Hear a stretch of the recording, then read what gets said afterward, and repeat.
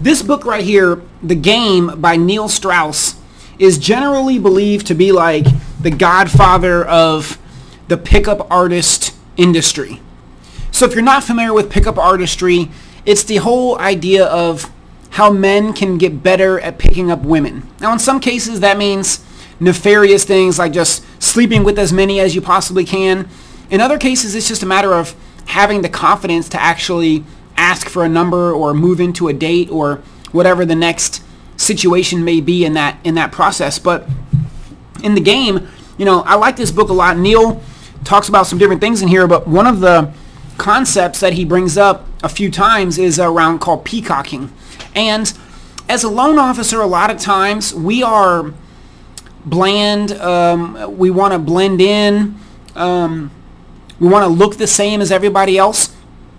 But in peacock, peacocking is this idea that you want to stand out a little bit, right? In pickup artistry, it's like if you're going to the bar and you're going to wear like a, a weird hat or have really big earrings or uh, maybe it could be like having your fingernails painted. It could be a weird necklace or some. It's like something that's going to kind of draw attention, make you stand out, right? Um, in in the mortgage space, if you're going to do peacocking, you know, to realtors, it's almost like how do you just make yourself unique and identifiable, right? Uh, maybe for me, I don't think necessarily this is peacocking, but my beard kind of makes me identifiable, right? People are like, oh, that's that's Nick from Facebook or whatever, right? That's the Legion of Loan Officers guy, and so people people you know kind of pick up on that. Um, for me, in some way, peacocking is the fact that I just wear like camo shorts and Sanuk sandals to business events when everybody else is wearing uh, business attire, right? Um, but it's like if you go into a room and it's a sea of blue and black suits, how do you stand out in that environment? And, um, and, same thing, right? As a loan officer, a lot of times people are just talking about what makes them the same as everybody else. Not they don't have something that makes them stand out, right? They're just talking about rates, communication, closing on time, these kind of things, service. You know, everybody's like, I have great service. Okay, cool.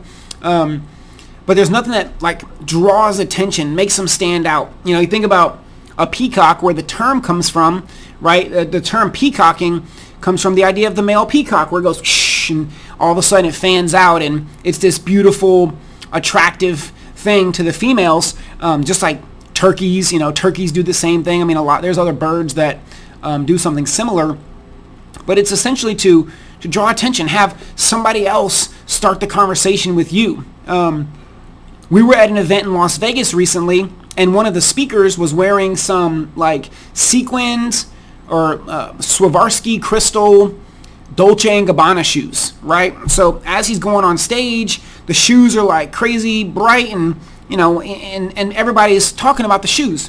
And that's an, a perfect example, right? That was a peacocking moment where, and he said like he intention, excuse me,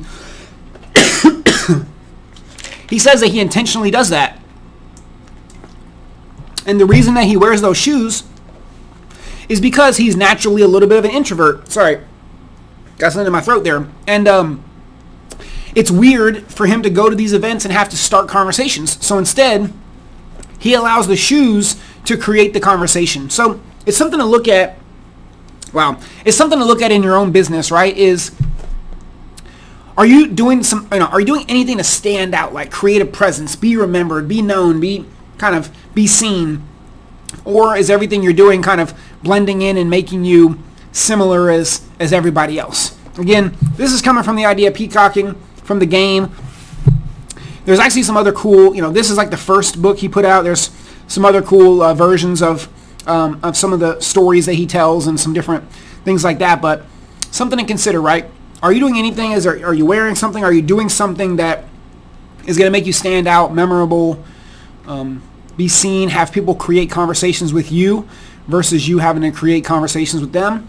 And I think that's just one example of of how pickup artistry crosses over into the mortgage loan officer attracting a realtor space as well. You know, especially when you look at the average loan officer is is a male, the average female or the average realtor is a female. Again, you know, doesn't mean that's always the case, but if we're just talking about laws of averages here, and in that case, it's definitely effective. Also, if you've been married a long time and you just aren't really good at having game anymore, you know, maybe pick up the game or pick up some other, you know, pickup artistry things. Um, again, it's a topic that we hit on a lot inside the Legion of Loan Officers because I think it's just really applicable to most loan officers in the way that they're trying to attract female realtor partners. So I'm Nick Carpenter. That's what I got for you today is are you standing out a little bit? Are you doing something to draw some attention so people want to talk to you? Or are you blending in and then you're having to create all the conversations and, and you're not as memorable? So uh, hopefully you subscribe.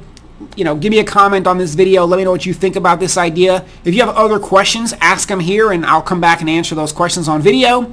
Hope you guys are doing awesome. See you next time. Later.